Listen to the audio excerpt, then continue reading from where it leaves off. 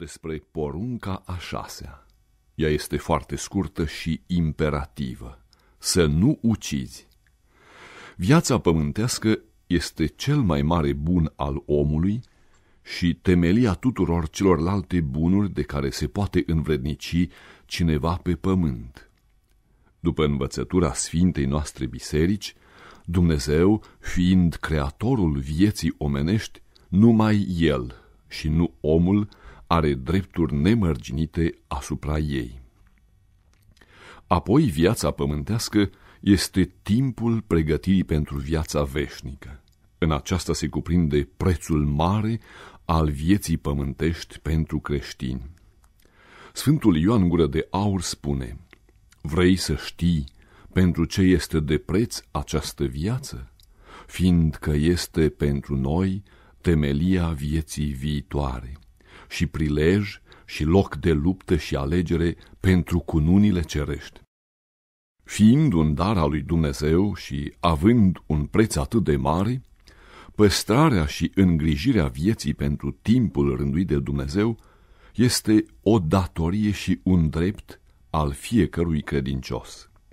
Tocmai aceasta cere Dumnezeu prin porunca a șasea din Decalog când oprește uciderea. Uciderea este de două feluri, trupească și sufletească.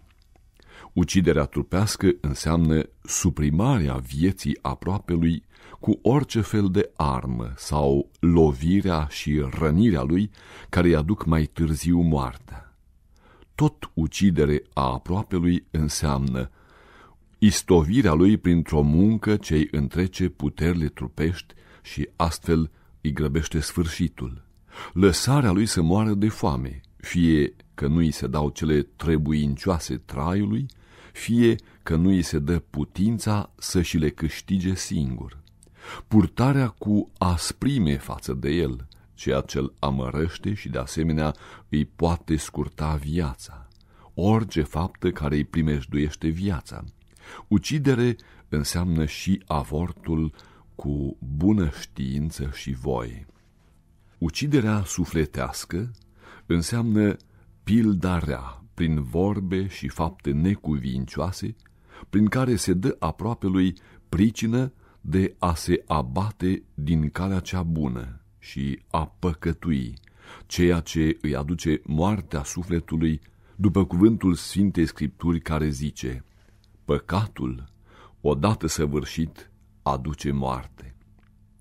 Cu privire la aceasta, Mântuitorul spune, Cine va sminti pe unul dintre aceștia mici care cred în mine, mai bine i-ar fi lui, deși ar lega de gât o piatră de moară și să fie aruncat în mare.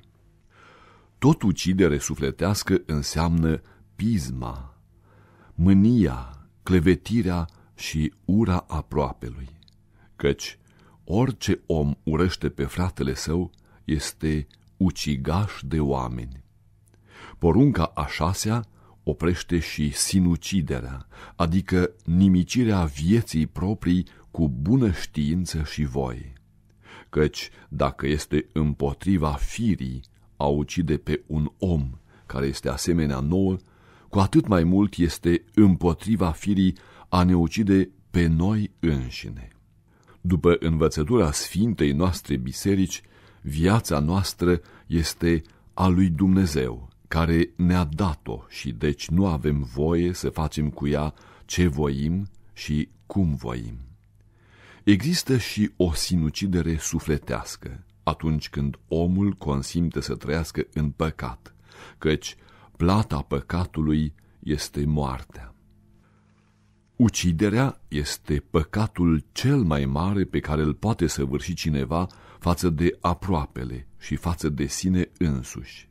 Sfânta Scriptură numără uciderea printre păcatele strigătoare la cer. Uciderea este un păcat foarte greu, fiindcă prin ea se distruge o ființă care poartă în sine chipul lui Dumnezeu. Se intră cu nelegiuire în drepturile lui Dumnezeu, care este singurul stăpân asupra vieții și a morții. Se răpește un drept firesc al fiecăruia și bunul cel mai de preț dăruit omului de Dumnezeu, pe care nimeni nu-l mai poate înapoia. Se încalcă porunca dragostei, se știrbesc drepturile societății față de care fiecare om are anumite datorii de împlinit. Se ucid serii întregi de urmași care aveau dreptul la viață și puteau fi de mare folos societății.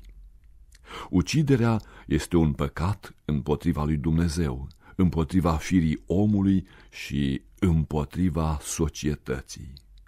În ce privește pe sinucigași, deoarece ei de bunăvoie rup legătura cu Dumnezeu, biserica, prin canoanele ei, oprește înmormântarea lor după rânduielile creștine.